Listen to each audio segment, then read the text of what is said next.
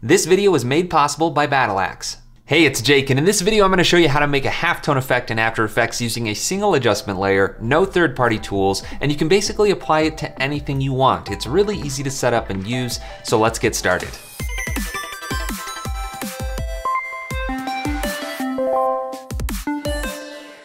I was inspired by two different tutorials for creating a screen print halftone effect, one by Ben Marriott in After Effects and one by Brady over at Texturelabs in Photoshop. I pulled from both of those tutorials to come up with my own technique that has a few more features and I think is really flexible inside of After Effects. So let's jump right into After Effects. I just have a photo to build this effect on top of and I'm gonna start by making a new adjustment layer by going up to Layer, New Adjustment Layer. I'll rename this Halftones and we're going to start by applying a CC ball action effect. This is going to be the foundation of our entire effect. What it allows you to do is create a grid of dots basically. It can do a lot more than that, but that's what we're going to use it for. But right now all of those dots are running into each other, so I'm gonna go to the ball size property and just dial that back to something around 54. That looks good. The balls are just barely touching, and I'm gonna turn the grid spacing down to just say three so we have a finer mesh of these dots. But I don't actually want any of this color information from the photo, so I'm going to add a fill effect right after that, and I'm gonna make that black. So all of my dots are black now, and it looks like the background is white, but that's just my transparency grid. I wanna fill in that background with a white solid. So I'm going to add a solid composite, which is gonna do exactly that. It fills any empty pixels with whatever color you set here. So now I have a grid of dots but they're all perfectly horizontal and vertical in this grid. And generally, screen printed halftones are not perfectly aligned like that. They're usually at an angle.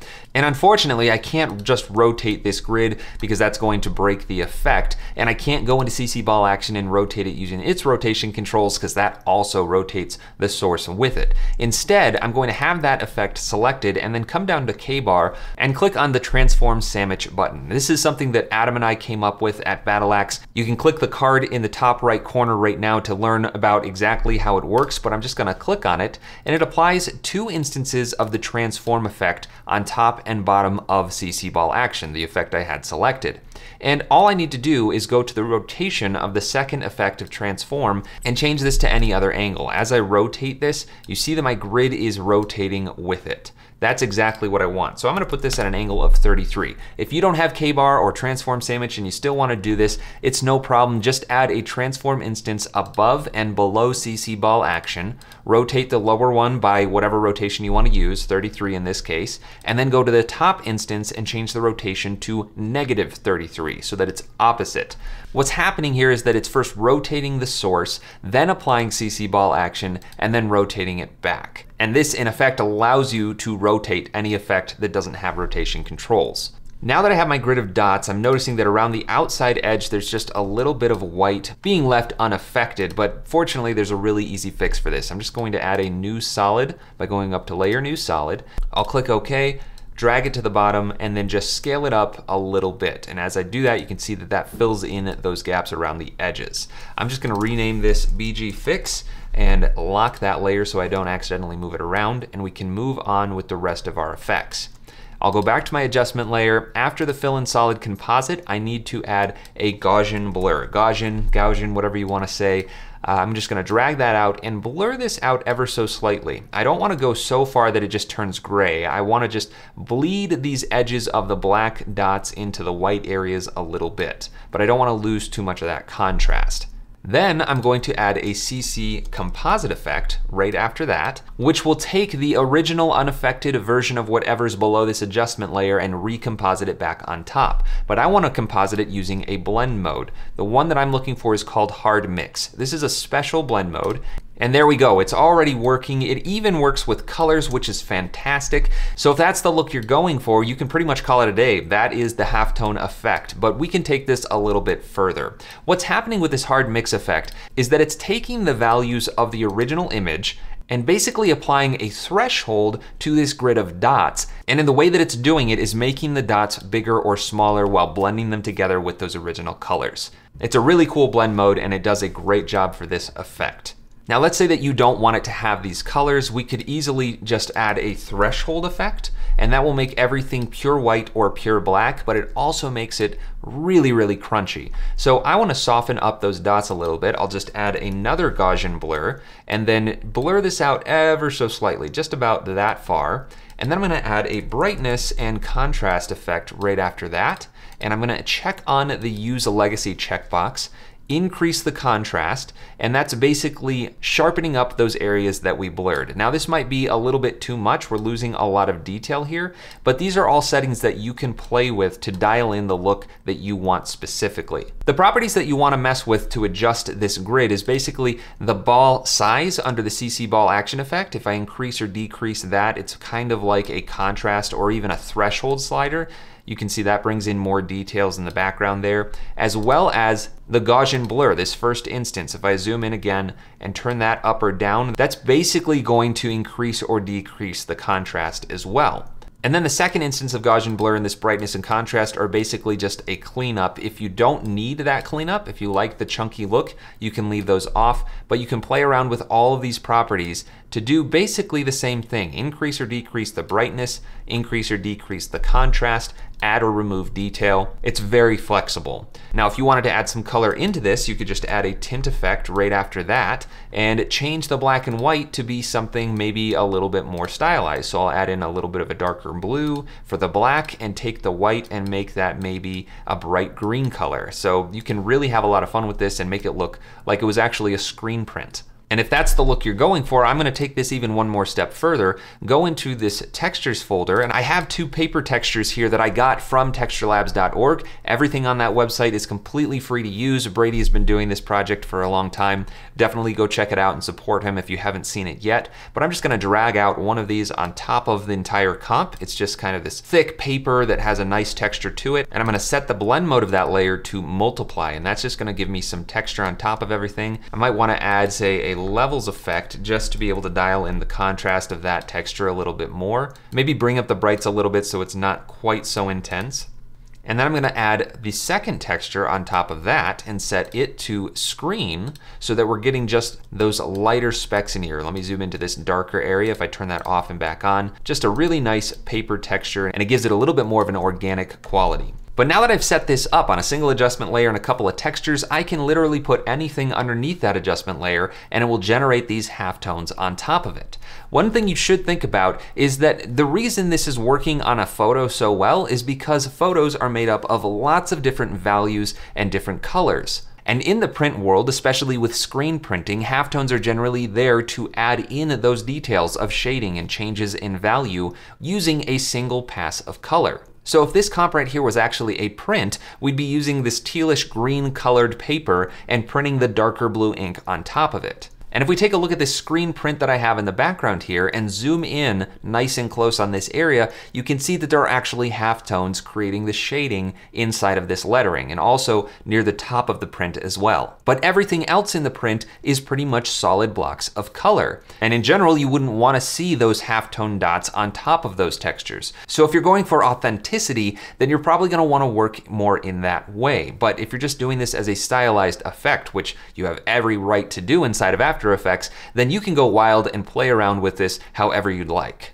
But since we have all this set up, let's take a look at what happens if we change this out with something else. I'm just gonna turn off the photo and type out some text. So I'll say halftones, and I'll just make it nice and big and show you that we're not really getting any effect on this text. There is a little bit of variance around the edges of that text, but this is what I was talking about. Because this is a solid block of color, with no shading, no texture to it at all, it's just showing up as that solid printed color, which is actually pretty accurate. If you wanted to make this a little bit more stylized, then we could do something like add an outline. And actually, I'm gonna swap these so that the outline is black and the fill is white. I'll make that nice and big, and then I'll add a drop shadow on top of that because a drop shadow is going to have some softness and some differences in the values. Now again, this is, if I solo this, just a semi-transparent solid block of color, but because it's not 100% black, it's getting that halftone screen. The more opaque it is, the more filled in those dots will become, the more transparent, the larger those dots will become. I wanna make this 100% black and then soften it out because then we're going to get that halftone gradient across the edges. Maybe 100% opacity is a little bit much. I still wanna see the outline detail of my text, but now I have this really cool look of a drop shadow made up of halftones. And I can do even more than that. If I duplicate this text, take off that drop shadow and I'll solo this just so we can see what's going on. I'm gonna take off that outline and add a gradient ramp effect and align it with the text so that we have this gradient across the text. Then I'll unsolo that and you can see that now I've got this halftone shading within my text, but it's making it pretty hard to read. So I'm gonna grab that black for the start color and just make it a lighter color. It doesn't really matter what color it is because we're using the tint to stylize this. But now I can play around with these start and end points to come up with whatever kind of look that I want. Again, I can just play around with the brightness of that gradient to get it to show up more or less intense. And now I have this really cool looking text effect. Hey, I want to take a second and tell you that if you weren't aware, I teach courses on Skillshare. I've been doing that for the past eight years and I have over 30 classes teaching lots of different things about motion design and After Effects specifically. And there's a class that I just released that goes right along with this specific tutorial where I teach you different techniques for texturing inside of After Effects. So if you want to learn more about how to apply textures, how to generate textures, as well as animate those textures, then check out the card above, which will take you to Skillshare You can actually get a free trial and check out that course and decide if you think that it's worth it to have access to all the other courses on Skillshare, not just mine, but everything on the platform. I even created a tool with over 50 seamless textures for looping these animated textures very easily and simply, being able to customize it really quickly inside of After Effects that I give away in that class. Check it out if you're interested, I really think you'll enjoy it. Thanks for tolerating this little interruption. Let's get back to the halftones. Now I wanna show you something that's a little bit more complicated, and I'm actually going to jump into Illustrator, where I have this stock design that I got from Envato Elements, and I'm actually going to transfer this over to After Effects using Overlord. I've gone ahead and broken out all the individual elements into groups and named them. Then I'll just select everything, click on this button right here to push that artwork over into After Effects. It's rebuilt exactly the same way that I had in Illustrator, but as shape layers. And if you're not using Overlord yet, go check it out. It will change your life. But now I have all of this artwork right in After Effects. I'm gonna jump back to my halftones and grab those three layers at the top of the layer stack and then paste them on top of here. And just like that, we've got our instant halftone effect. And those layers came in in the wrong order, so I'm just gonna rearrange them. But let's say in this one, I don't want to tint the color. I'm just gonna go back to that adjustment layer and I'll turn off the tint, and I'll also turn off the threshold so that we're left with the original colors, or similar to the original colors. If I turn these off and back on, you can see that it is making quite a bit of difference. That's just a side effect of the CC Composite effect. But from here, we could adjust the colors a little bit. If I duplicate CC Composite and change hard mix to say color, and then drag that to the bottom, now the colors are much closer to what we were before the effects were applied. But it took the vector style and added this gritty quality to it. It applied those halftones to those different levels of shading on the character, and it just gave it a completely different look and feel that's really easy to adjust. Now again, it's completely up to you what you want this effect to look like, but if you don't need a lot of fine details, you could go into CC Ball Action and turn the grid spacing up to say seven or eight and get much larger halftones. We did kind of break the effect though, so let me collapse that up and turn off all of the effects up until solid composite so we can see what our grid looks like. As you can see, the balls are just running into each other. So I need to just dial that back a little bit and then I'll turn my Gaussian blur back on. That should probably be a little bit more of a blur so that this bleeds into each other a little more now turn my CC Composite hard mix style back on, the cleanup Gaussian blur and brightness and contrast, and then the final CC Composite. And now we just have a much larger halftone stylizing our entire comp. I think everything got a little bit too bright, so I'm just gonna increase the ball size a little bit to bring in more of that detail. But we could also go the opposite direction, turn the grid spacing way down to say one, and do that same process again. Turn off all of these effects up to the solid composite, Zoom in nice and close and dial back that ball size so that they're not quite running into each other so much. Turn on that Gaussian blur and dial that way back, right about there. CC Composite, CC Composite 2, and now we have a much tighter grid of halftones. So there are just so many variables that you can modify to dial in the exact look that you want.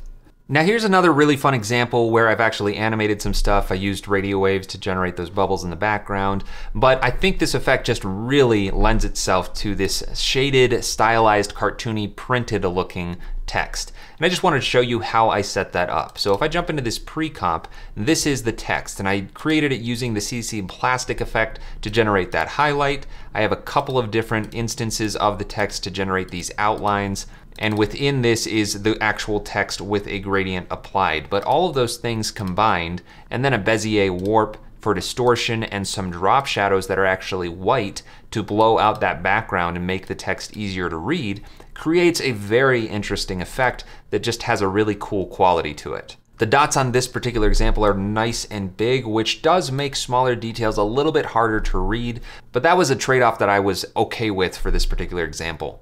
This one was a lot of fun. It was inspired by the White Stripes. I created this band called the Halftones, but uh, I used a smaller, much finer mesh of dots for this one. I think it still gives a pretty cool look. I did the text probably the hardest way possible using a lot of instances of Transform and CC Composite. You can go check out the Transform Effects of After Effects video to see exactly how I pulled that off. The background was done with Venetian blinds, polar coordinates, and the warp effect, which by the way, if you've ever heard me talk about an effect that you didn't understand, I have created a video for it here on my YouTube channel. The Effects of After Effects series covers every single effect in After Effects, and you can just search for the effect name on my channel and it will show up. So if you're ever confused, just go check out one of those videos. Another great application of this effect is 3D renders. I made this battle axe in Cinema 4D and it just brought it in. This is what it looked like before. And if I turn off some of these effects, uh, it's just on a solid background, but I matted it off so that I just have that axe isolated and I added some effects to bring in more detail. So that's what I wanna show you with this one. If I zoom in nice and close and I turn off all of these effects except for set matte, that's just what isolates it from the background. I wanna show you that first I used a Minimax effect as well as a CC composite to add an outline around the axe. So that's what that looks like. It just brings that stroke around the entire alpha channel and that helped define it from the background a little bit more. And then I added a brightness and contrast effect and lowered the brightness and lowered the contrast because the higher the contrast is, the more muddied everything is going to get. So if I dial this back even further, it's really going to bring in those details even more. And then to just, again, separate it from the background, I added a drop shadow with a nice soft feather, and that gave it a little bit more separation from the background texture. And on top of the halftone effect, I also added a posterized time effect to drop it down to 12 frames per second, just so it gave it more of a hand animated feel. And you'll also notice the halftones are jittering around. That's with the turbulent displace effect. Again, just to give it a little bit more of an organic touch, I just animated the random seed using an expression, which I believe I just used random 10,000, yep, and that generates a random number for every frame of the animation. And again, finished it all off with this Texturelabs paper texture. And while this effect generally works best with shading and not solid blocks of color, I even applied it to my logo intro here, and I think it looks pretty nice. It just gives it that cool texture. It's not necessarily being used in an actual way that you would in the real world, but that's okay. You don't always have to be 100% authentic. Sometimes you can just have fun and add some texture. Again, I posterized the time to 12 frames per second. I added in three instances of animated texture this time just to give that background even more movement and I think it turned out really nice. But that just about does it for this halftone effect. It works on top of videos as well. I grabbed another stock clip from Envato Elements, which was shot on a green screen, so I was able to key out the woman, add a layer style to add that stroke around her, and just apply this effect right on top of everything. Again, it worked just like before. So you really can have a lot of fun with this effect. Thanks for watching. I hope that you learned something in this video. Big thanks to both Ben Marriott and Brady over at Texturelabs for creating tutorials that inspired me to make this this one. A huge thank you goes out to my patrons over at Patreon. If you're interested in supporting more tutorials like this one, go check the link in the description.